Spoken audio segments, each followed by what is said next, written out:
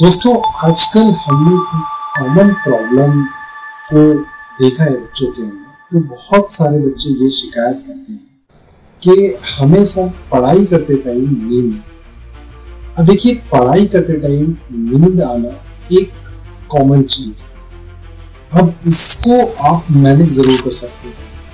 आज जो हम बात करने वाले हैं, हम वो यही देखने वाले हैं कि अगर आप स्टडी कर रहे हैं उस टाइम पीरियड पे आप अपनी जो स्लीपिंग टाइम है, उसको कैसे मैनेज कर सकते मैं आपसे बड़ी बड़ी बातें नहीं करूँगा कि अगर आप प्रिपरेशन कर रहे हो तो आप मिर्ची खा लो। अगर आप प्रिपरेशन कर रहे हो तो अपने माँ बाप का चेहरा याद कर लो। या कुछ ऐसी ऐसी बातें नहीं करूँगा जो बहुत ज़्यादा आपको एक्साइटेड कर दे मोटिवेट कर हम बहुत कॉमन सी बात करें जिसको देखते हैं बेसिक देखिए सबसे पहली बात जो होती है, वो होती है अपने आप को अगर आप ट्रीट कर रहे हैं, अपनी बॉडी को अगर आप ट्रीट कर रहे हैं तो वो है आप अपने आप को एज ए मशीन नहीं एज ए ह्यूमन ट्रीट करें आप कोई मशीन नहीं है जो 24 फोर इंटू सेवन चलते रहे।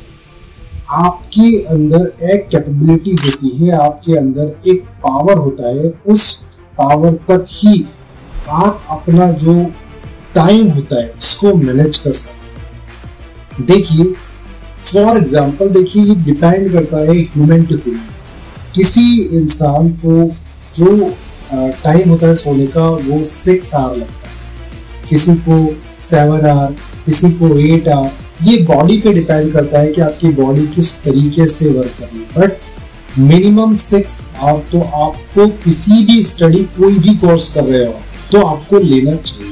अगर आप मिनिमम सिक्स आवर अगर स्टडी के नहीं दोगे तो आपकी बॉडी के साथ आप सही नहीं कर पाएँगे उसके बाद अगर हम नंबर टू के बात करें तो आप अगर जब भी स्टडी करें तो अपनी स्टडी टेबल पे पढ़ो क्योंकि स्टडी टेबल पर जो स्टडी होती है, वहाँ पर आप टायर्ड कम होते हो as compare to the late के पढ़ाई करना बैठ के पढ़ाई करना, या बेड के ऊपर बैठ के पढ़ाई करना। इन सबसे आपकी बॉडी जल्दी टायर्ड होती है। बिल्कुल कॉमन सा एक तरीका है अपने टेबल पे बैठिए और आराम से बैठ के सारा स्टफ़ रख के अपनी टेबल पे पढ़ाई करें नंबर थ्री पे अगर हम बात करें तो वो है नून नैपिंग देखिए, आप जब भी लंच लें लंच के बाद पाँच या दस या आधा घंटा मैक्सिमम नैप ज़रूर ले। उससे आपने देखा होगा कि आपकी जो पूरी बॉडी है वो रिफ्रेश हो जाती है। बड़ी बड़ी कंपनीज़ गूगल और माइक्रोसॉफ्ट में एक पर्टिकुलर सेक्शन बनाए जहाँ पर आप नैप ले सकते हो और उस नैप के बाद आप पूरा रिफ्रेश हो जाते हो। इसलिए किसी भी स्टूडेंट के लिए एक बहुत इंपॉर्टेंट चीज़ होती है कि वो नैप ज़रूर ले दिन की। इसमें एक चीज़ का ज़रूर ध्यान रखें स्पेशली स्टूडेंट की बात कर रहा हूँ मैं, कि वो जब भी नैप ले तो अपनी स्टडी टेबल पर ही ले लें। क्योंकि अगर वो बेड पर जाएँगे तो फिर वो थर्टी मिनट से वन आवर टू आवर कब हो जाएगा, आपको पता भी नहीं चलेगा। स्टूडेंट क्योंकि वो कंफर्टेबल नहीं होते नैप लीजिए आप। बहुत अच्छा है नैप लेना बट आपको सिर्फ़ 15 से 30 मिनट ही नैप लेना है, जो कि लंच के बाद में। अगर हम बात करें, जब भी आप जो भी खाना खा रहे हैं, उस खाने को आप इतना ज़्यादा मत लीजिए कि पेट भर के आपने खाना देखिए बेसिक सी बात होती है, जो हमारा सिस्टम होता है डाइजेस्ट सिस्टम जब हम खाना खाते हैं तो सबसे पहले अपने जो खाना है उसको डाइजेस्ट करने में टाइम लगा देता है आपकी पूरी बॉडी वही वर्क करती होती है उस टाइम पे अगर आप ज़्यादा खाना खाते हैं। और फिर जो माइंड है वो मैसेज करता है पूरी बॉडी को कि यू नीड अ रेस्ट तो उसको, उस रेस्ट से हटाने के लिए आपको खाना कम क्वांटिटी में खाना चाहिए। और थोड़ा थोड़ा क्वांटिटी में आप बार बार ले लीजिए, वो ठीक रहेगा। एज कंपेयर टू द एक ही बार में पूरा खाना खाए तो बेटर ये है कि आप कम कम खाना खाएँ, एक ही बार में ज़्यादा खाना नहीं क्योंकि इससे बॉडी बहुत ज़्यादा लेजी हो जाती है और जितना हो सके वाटर कंज्यूम करते रहे, पानी पीते बिल्कुल ऐसे। आपकी बॉडी को एक्टिव रहना चाहिए। देखिए, होता क्या है मोस्टली जब भी आप स्टडी टेबल पर जाते हो तो आपका एक तो माइंड यानी ब्रेन काम करता है और आपकी आईज ये दोनों चीज़ें काम करती है। बाकी जो पूरी बॉडी है, वो रेसेस मोड में चले जाती है। अब इससे होता ये है कि बॉडी को ये एक मैसेज जाता है कि हम सिर्फ़ दो चीज़ें काम कर रही हैं, बाकी चीज़ें एक्टिव नहीं है। तो एक तरीके से वो लेजीनेस आना स्टार्ट हो जाती है।